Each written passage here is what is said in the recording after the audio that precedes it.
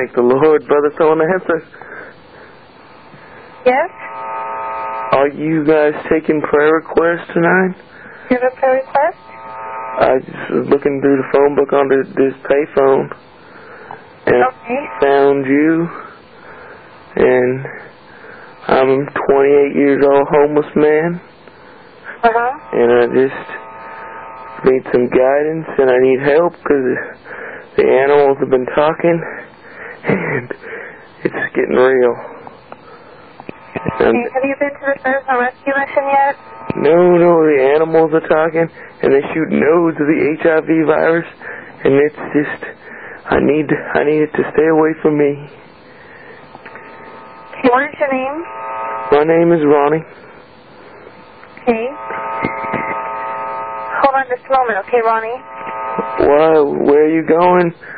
I'm going to let you speak to another gentleman who's going to pray with you. Okay, okay.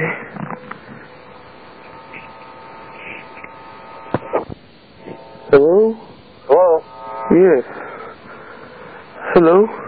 Hello, do you need prayer? Brother? Okay.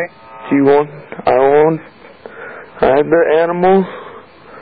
It's, it's intense. You what? It's getting intense out here. Okay. The animals Uh-huh. are getting real. Okay.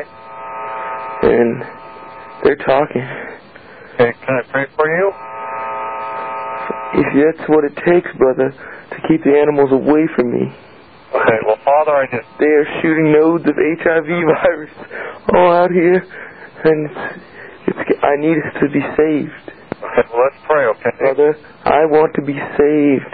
Okay, well, let's Back pray. when I was a vampire, it was just, brother, save me. Okay, let's pray, okay? Okay. Father, I just thank you for Ronnie. Father, I just thank you for your love and for your protection. Father, to be upon him. Father, I plead the blood of Jesus over him.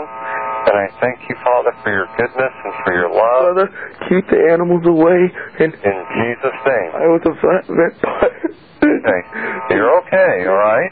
Okay, I will stay away from the animals, Okay. and I will not bite them for their blood, and I will go back in my coffin and fall asleep. Thank you, brother. Thank you. The creek call.